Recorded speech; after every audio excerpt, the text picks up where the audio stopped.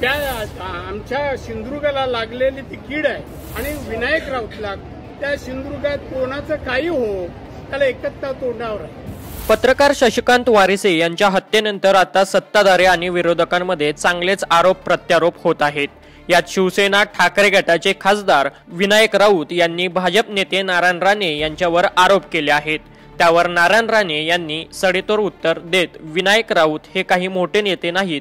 ते सिंधुदुर्गला लागलेली कीड आहेत असा हल्लाबोल नारायण राणे यांनी केला आहे. प्रकरणी ज्या पद्धतीने विनायक राऊतांनी आरोप केलेला आहे ज्यांनी या सगळ्या संदर्भात विनायक राऊताने मला त्या वारीस पत्रकारला मी कधी भेटलो नाही माझा संबंध नाही आणि बाकीच्या घटनेचा माझा काही संबंधच नाही आहे आणि विनायक राऊतला त्या सिंधुदुर्गात कोणाचं काही हो त्याला एकत्र तोंडावर आहे.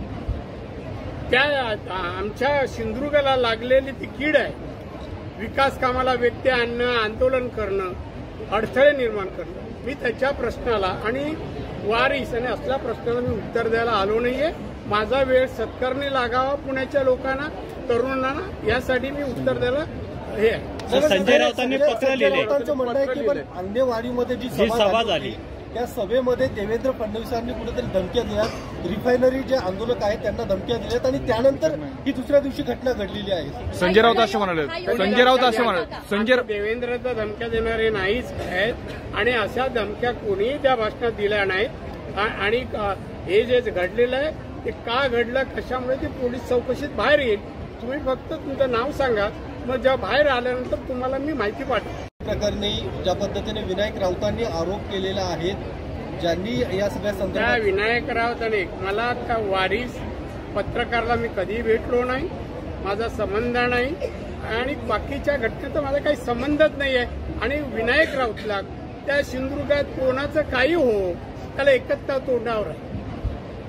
त्या आमच्या सिंधुदुर्गाला लागलेली ती कीड आहे. विकास कामाला व्यक्ती आणणं आंदोलन करणं अडथळे निर्माण करणं मी त्याच्या प्रश्नाला आणि वारीस आणि असल्या प्रश्नाला मी उत्तर द्यायला आलो नाहीये.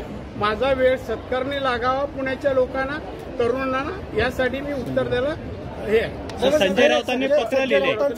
पण अंदेवाडीमध्ये जी जी सभा झाली त्या सभेमध्ये देवेंद्र फडणवीसांनी कुठेतरी धमक्या दिल्या रिफायनरी जे आंदोलक आहेत त्यांना धमक्या दिल्यात आणि त्यानंतर ही दुसऱ्या दिवशी घटना घडलेली आहे. संजय राऊत असे म्हणाले.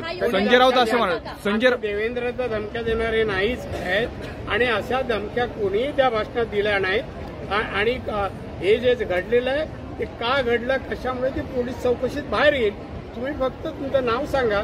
मग जेव्हा बाहेर आल्यानंतर तुम्हाला मी माहिती पाठवतो.